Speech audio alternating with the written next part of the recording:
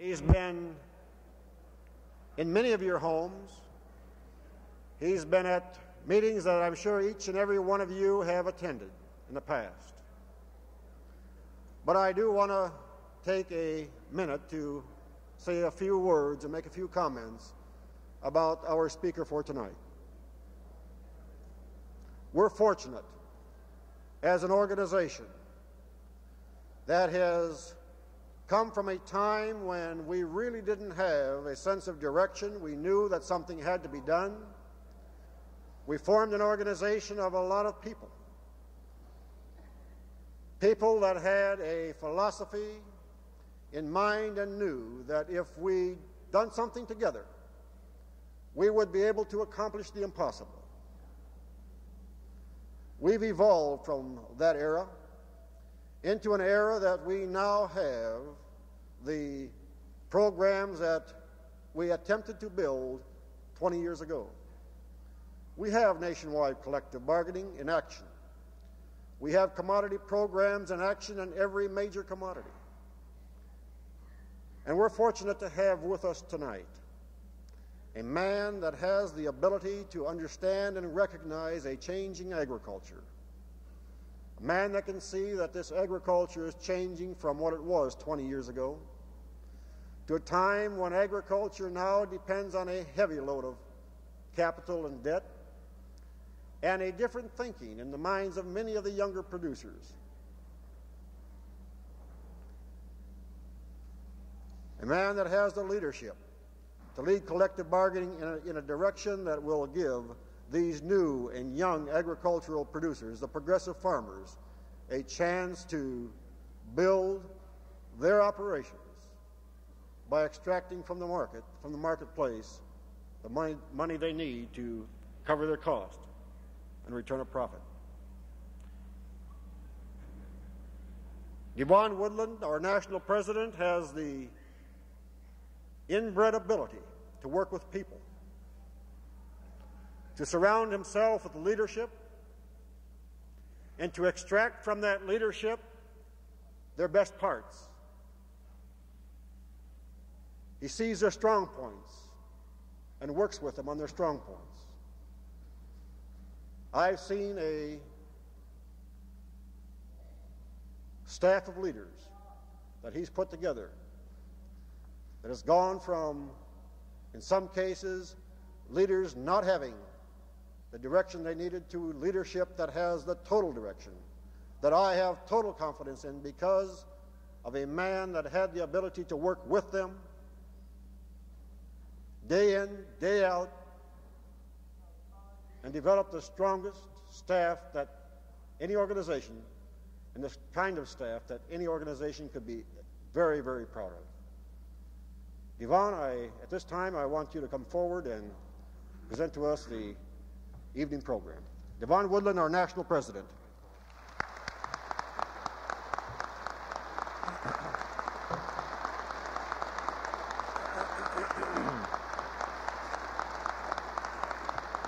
Thank you, Bob.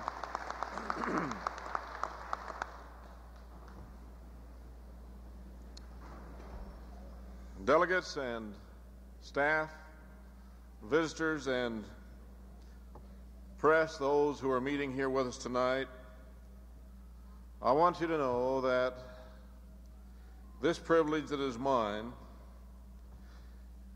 causes me to feel a deep sense of responsibility to this organization and, in a general sense, to agriculture as a whole. Now, I'm going to chat with you tonight more than anything else. Sometimes we have a fireside chat and we just visit. And other times we involve ourselves in a different type of an atmosphere. And I'm going to break from the norm just a little bit and do a couple of things that I want to do. The chairman has turned the podium to me, so I guess from here on I do what I want to do. I've introduced several visitors here at this convention and guests, but there's a delegate that's here at this convention that I have not recognized, and I want to do it at this time.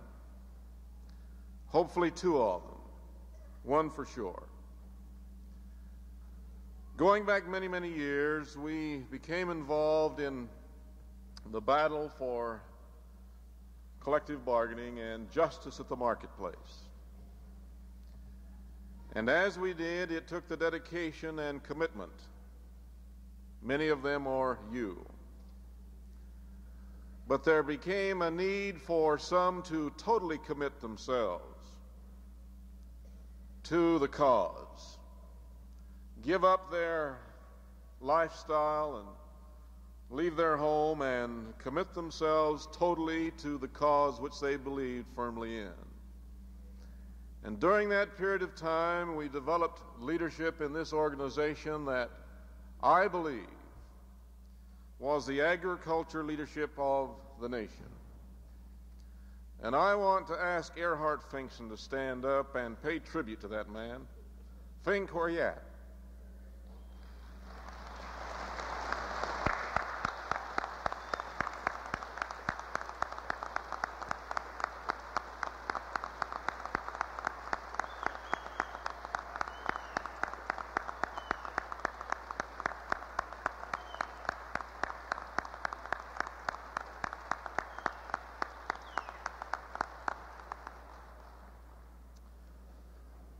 Who always enjoyed a good fight.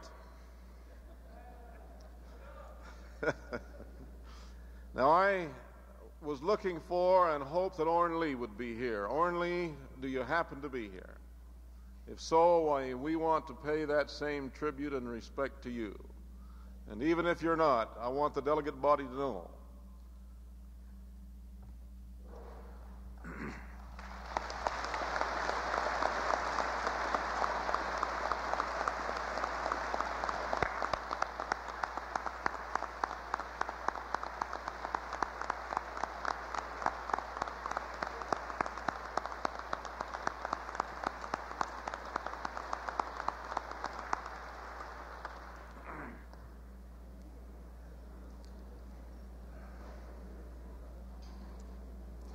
We're here today because of that leadership. I think we recognize it. And I want them to know that we recognize it. now, I'm a realist. I'm not an optimist nor a pessimist. I'm a realist. And I try to deal with issues as I see them, as straightforward as I know how. And we talk about and hear phrases that we're not familiar with, and I don't understand them. I don't know what they mean when they talk about trickle down economics. They talk about supply side economics. I don't know what those phrases mean. But I know that if you have $100 in your checkbook and you write a check for 110, you're in trouble. I understand that simple mathematics and economics. And I know that those of us who farm our land, we have that simple understanding of economics. And I also know that we're living in a period of time when there has never been a greater challenge to this organization. And as you contemplate the theme to my rear, I want to spend just a little time talking to you about it. Collective bargaining more than marketing. So that we're on the same wavelength. Marketing, as we interpret, is a system that we have been subject to for generations. It's a system that has been there and has exploited we as tillers of the soil because we have had no way to challenge that system. And so, as we talk about marketing, it takes no talent to market. And I've heard the story, and many of you, where the mule took the wagon to town because he could do as well as the farmer. It didn't take any talent to market. But I'll tell you, when you get into the field of bargaining, therein lies a challenge equal to any challenge that you'll ever have. And it takes real talent to cause that market to react favorable. And so collective bargaining is much more than is marketing. And as this organization embraced that principle many, many years ago, I suppose that we learned as we went along the challenge that comes with declaring collective bargaining as your goal. Collective bargaining, more than marketing.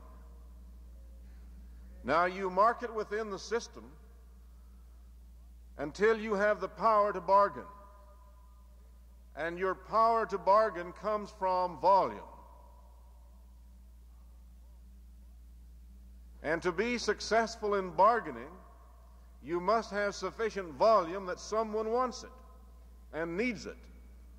Because if they don't, why should they bargain? The market system is ample and adequate for them, and you must be in a position to insist that they transfer that philosophy of marketing into a bargaining atmosphere, and it can only be done with volume. Now, we talk about the possibilities, the alternatives to collective bargaining, and I ask you, what are they? There are some. One of them is a continuation of the system that has exploited you and I for generations. The other is taking the legislative route. And I'm sure that if we are honest with ourselves, we'll have to admit that that system that has exploited us will continue to do so unless we challenge it and we have some ability to replace it. And if you challenge a system, you're in error if you do not have a replacement. And that we must do. And that today, people, we have. We have that system in place. And as one told me not too long ago, it is as near infallible as any program that we've ever had within the organization. And I submit to you that the programs, with little fine tuning, as we move into more complete effort, can fill the need that is there. There's no question. As the Farm Bill began to heat up, Chuck reported on it, and I don't want to spend a lot of time, but I want to take just a little different approach than he did. We recognized that conservative mood. And so we began to do things where we could protect ourselves under that element. Well, the budget director, Stockman, he had other plans representing the administration's viewpoint. He had one goal, and that was to divide agriculture, divide the farm bloc. And by his own admission, he was going to present an administration bill that would be unacceptable to the farm bloc in the Congress. And the end result was that the division took place as the strategy developed. It was not by chance, it happened by design until the farm vote and the farm bloc in both the House and the Senate was divided. And they began to cannibalize each other. And the end result was that the farmers were the losers, the administration was the winner, and the Farm Bill completely unacceptable. Well, those things happened by design. The point I'm making is this there is a genuine effort to divide agriculture, to keep it from accomplishing any goal that would improve the economic lot of those of us who till the soil. And even within the circle of agriculture, there are attempts to divide. And as limited as we are in numbers, if we unite, we must not allow ourselves to be fragmented. We work on the issues that we agree on, and then we disagree on issues that we disagree on in private. And present that united front that has traditionally divided us. There are trends developing that are dangerous. The average age of the farmer and rancher today who holds the deeds and the title to land is 64 years of age. This doesn't mean that he rides the tractor and is out tilling the soil. It means that he owns the land, he has the deeds.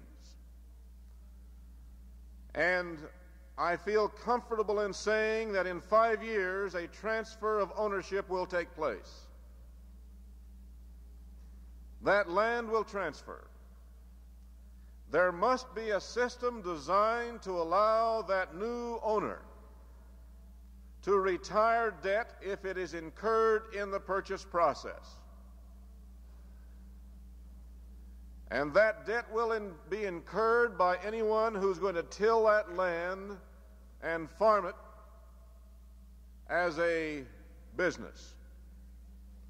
The debt may not be incurred by those who will purchase for tax purposes, for investment purposes, or something else. And if I, in fact, were a gentleman of 64, 65 years of age, I'd be pretty careful to whom I sold my land because I wouldn't want a repossession, I would want a sale. Unfortunately, those who buy today find themselves in a position where retiring debt from farm income becomes a near impossibility. And the only way that they can pay the price for land that is now the asking price is by mortgaging some land that is clear, perhaps a home place for an acquisition of a neighboring. And then they spread out those payments on all the area and reduce the total payment per unit. They put in jeopardy the home place that they have worked and been able to put into a clear deed position. These young people want to farm. They want to be ranchers. They are the professional people. You are the professional. These young people who have followed you and I as our sons and daughters and watched and learned because they followed and worked with us are the professional farmers and ranchers of the future.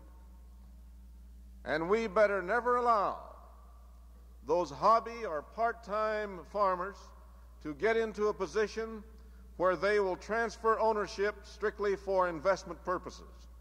America will be the loser. The American people will be the loser. These young people want to farm. We must give them some hope whereby they can literally become the owner, the operator, the true professional. Now, I look at American agriculture, you and I who are the professional farmers. There's nobody better. Nobody can challenge our ability to perform. It's been tested, and we're recognized worldwide for having that ability to excel. But agriculture is changing, people, and it's changing very rapidly. And we must be willing to recognize that and be willing to change and capitalize on the changes that are taking place. It used to be that the physical labor was number one, and I'm not suggesting that it still isn't a major part of. But there's another element creeping into agriculture now that is putting agriculture into what is known as a stress occupation. It isn't only physical anymore, but it becomes mental. It used to be that our whole concentration and thought process was on how to pr produce more per acre, more bushels. And today it's, in addition to that, it is when and how to protect ourselves at the marketplace. And that mental stress and strain, too many farmers are not trained and adapt to that change that's taking place in agriculture. And that area of stress and strain is the void that this organization is going to fill. That's our role. That's our responsibility to you. Every major corporation in America that is successful has recognized the need for having a sales force for the commodity which they manufacture, whether it be automobiles, whether it be tractors, farm equipment. But the manufacturer of those goods may manufacture, and if it sits on the lot, they're in trouble. They have to have someone take care of that end of the business. And they will spend equally as much time on that end of the business as they do on the manufacturing and producing the units. And I'm suggesting that you and I, as individuals, we do not have the ability to maintain that type of sales force individually. But together, collectively, we can supply and fill that need that's there. Now, there's some techniques that are used. The techniques in protecting our economic interests we refer to as collective bargaining. That's the principle. That's the principle. But there are fundamentals of collective bargaining that are much more intricate and much more demanding, much more, much uh, harder to gain. And so, what we're asking you to do is that you understand the principle of collective bargaining and what it can do. And let us assume the responsibility of implementing the fundamentals with our staff and your staff. You are professionals in a field which you have chosen. And we have the technicians, we have the specialists, and those who have chosen a specific area of interest in their lives. And they have excelled in that. And what we need to do is let them deal with the fundamentals of the principle collective bargaining. There's no question in my mind that as the months and years begin to pass by, that within our lifetime, we're on a collision course as far as population and food supplies. And it's accepted and in discussions recognized that the American farmer stands between starvation and a well fed world. And that as we recognize the growth factor, where there is a new birth every four seconds somewhere in the world, it becomes very obvious that the American farmer cannot fill that void and that other countries in the world are going to have to assume a greater degree of responsibility for the issue. But as we attempt to fill that void, we have become involved in a, an expansion of export programs. But most of us know that the majority of food that is exported from this country goes to countries who can and should pay. They should pay full market value. And as we look at others who have considered the worth of their raw materials and how it affects the economy of their country, it becomes obvious why they have been successful and we have been somewhat less than successful. I think a typical example that we can refer to the OPEC countries, they may have the camel kneel and they crawl on with their machete and their gun and ride over the sand hill shooting at each other all week. Well, when it comes time to negotiate and talk about the pricing of their raw materials, they sit down together and get it done. And there can be a lesson learned from that. But the reason they have been successful is that their government is willing to assist and allow that to take place. And the difference being our government is not willing to allow or assist and the cheap food policy which they have embraced, regardless of which political party we may talk about, that cheap food policy carries through to that raw material that you and I are the manufacturers of.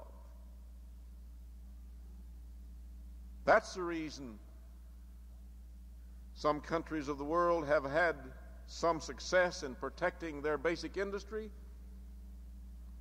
you can take the European common markets. They have been able to protect their agriculture because their government was interested in seeing it take place. And our government, sad to say, simply isn't that interested. There has never been a greater disparity between the input costs of producing agriculture goods and the income received from them, there has never been a greater disparity since 1930. And sometimes we even become lulled to sleep. You can remember as I when we had 8%, 9% interest, 7 and it went up to an area that we almost panicked and recognized the impossibility of surviving under that element. And now it has moved on back down to maybe 16%, and we think we're in heaven. And we've accepted that now as livable.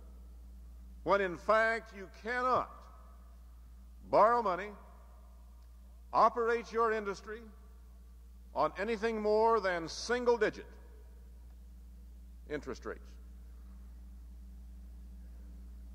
Agriculture is a very interest sensitive industry because 90% of the farmers and ranchers borrow money. And being a very interest sensitive industry, it hits them doubly hard when you take into consideration that that is an albatross which they have no control over, coupled with low farm markets at a level, a disparity that reaches back 50 some years, which they today have no control over. Those two elements that are beyond our grasp, therein lies our problem. What the farmer needs today more than anything else is stronger representation at the marketplace.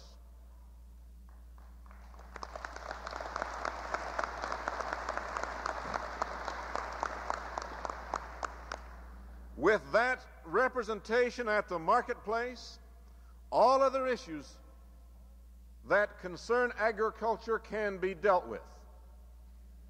And without that strong representation, those issues that cause us deep concern will be a permanent concern. This organization has accepted the challenge years ago, and we recommit ourselves to that goal constantly. That our goal is to establish our right to price and provide that representation at the marketplace. We haven't been able to move forward as rapidly as we would like. We're not content. When you become content and satisfied, there's something wrong. You'll stagnate. And we're not satisfied with the rate of growth.